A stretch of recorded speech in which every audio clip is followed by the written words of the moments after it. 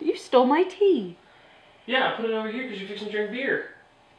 But it, it's a mouth cleanser. No, it's not. Water is. You want some water? No. Alright, alright, fine. I'm gonna finish. Clearly, we're scooching my boochin for. Scooching your capuchin? Wait, is that a monkey? Yeah.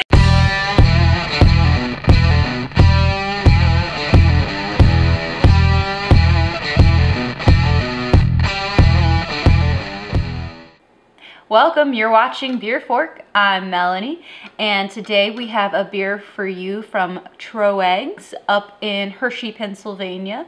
Um, I decided to pick this particular beer up because I'd had another one of their beers earlier this year, um, one of their other IPAs that was quite good, and I figured I wanted to give another one of their beers a try.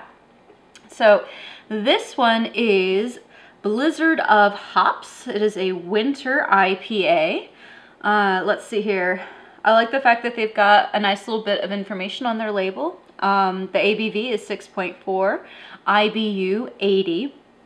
They tell you the hops are Centennial, Galaxy, Chinook, and El Dorado. And actually, if you go onto their website, they'll give you even more information. And I kind of love what they've done for each of their beers. It's a really nice layout on their website of everything that you're about to get in this bottle and not limited to what they just have um, on the label itself when you pick it up. And it says, We created this winter IPA to toast hop growers around the world for another successful harvest. This storm of hoppy citrus and pine notes is a bright reminder that the end of the hop cycle is only beginning. So I'm guessing that's a reference to the fact that we've had a lot of hoppy beers in the past couple of years.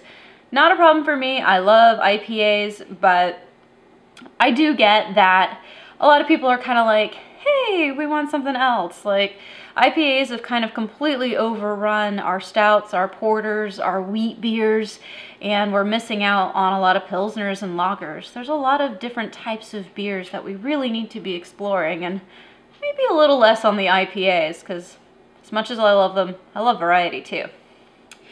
Um, and then that's kind of it for the label. So we're gonna get into it.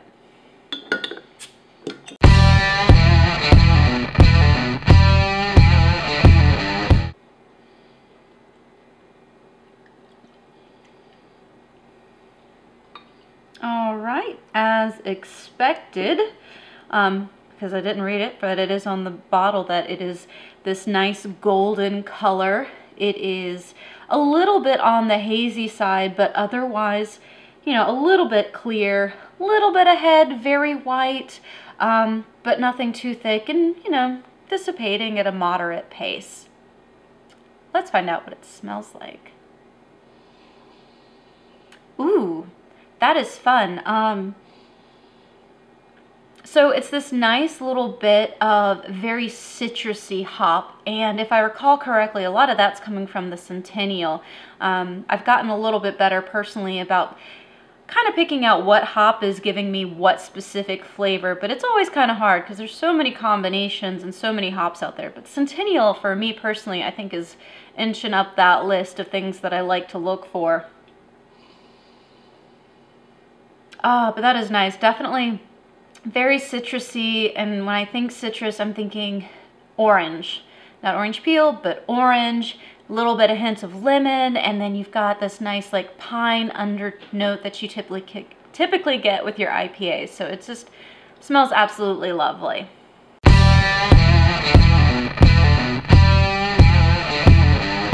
Let's try it.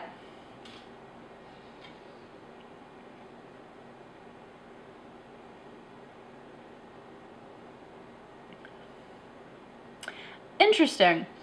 So the bitter in it, it's the first thing I even noticed, which is kind of a funny thing because, you know, your bitter taste buds are further back, but it's got kind of that rindy flavor. Like instead of orange, you get more orange peel because it is bitter, but it's not a bad thing in this case. It's just really bitter. Um, I wrote, yeah, it had the IBUs on it, was uh, 80. So not super high, but not low either. It's just kind of middle of the road, but it's very much predominant with this one.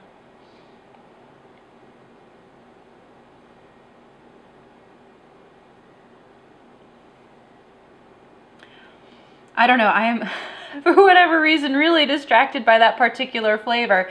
Um, I think because I was expecting it to taste more like the way it smelled. Like I'm definitely still getting that citrus, a little bit of lemon in there, but very intense with that bitter. It's just, it's, it's not super bitter, but it's just a strong flavor character.